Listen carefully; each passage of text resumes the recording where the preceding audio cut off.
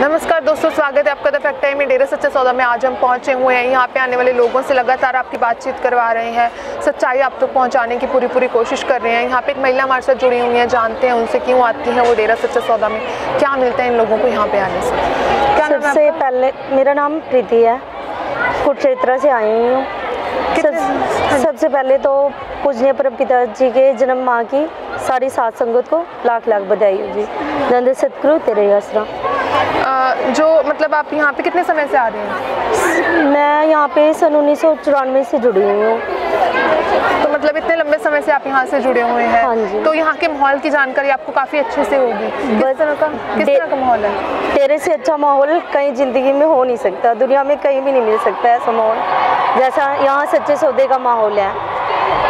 तो मतलब अगर मैं बात करूँ यहाँ पे महिलाएँ कितनी सुरक्षित हैं? यहाँ जितनी सुरक्षित डेरा सच्चा सौदा की महिलाएँ हैं मेरे को लगता है कि इतनी सेफ़ महिला अपने घर में भी नहीं है। गुरु जी का चरित्र किस तरह का है? गुरु जी का लगाव।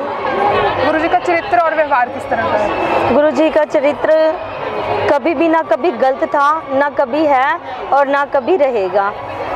ऐसा मानवता भलाई के कौन कौन से कार्य किए गुरु जी ने मानवता भलाई के बहुत से कार्य कर रहे हैं जैसे सफ़ाई अभियान चला रहे हैं और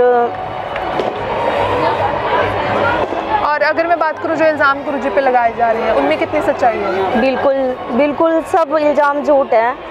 हमारी तो यही अपील है कि सरकार से कि पिताजी को जल्दी से जल्दी रिहा कर दें जी। और कितनी ज़रूरत है समाज को गुरु जी की? एक सौ परसेंट ज़रूरत है समाज को गुरु जी की तो। हमारी सोच के अनुसार तो एक सौ एक परसेंट ज़रूरत है। बहुत बहुत शुक्रिया आपका। तो जैसे इन्होंने बताया कि समाज को बहुत ज़रूरत है गुरु जी की जल्दी से जल्दी उन्हें समाज में भेजा जाए। इस बारे में आपकी क्या राय है? कमेंट सेक्शन में हमारे साथ ज़रूर शेयर कीजिए। जुड़े रहिए द फैक्टाई से।